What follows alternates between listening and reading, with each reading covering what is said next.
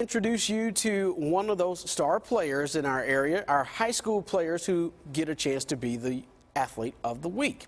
Marissa Gray is a pure natural athlete. Name a sport and she will give it her all. Track and field, volleyball, but the Gardner Edgerton senior is headed to the University of Kansas. Gray was invited to try out for the USA skeleton racing team. That's a cousin to bobsledding. She made the team and hopes to one day compete in the Olympics.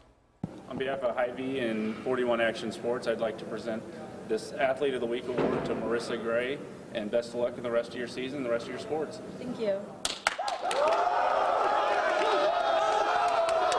I knew that it was a winter sport and I had seen it a couple times over the years, but I wasn't really sure about the sport in general. And they asked me if I was willing to try out, and I said yes, just kind of going at it with a why not attitude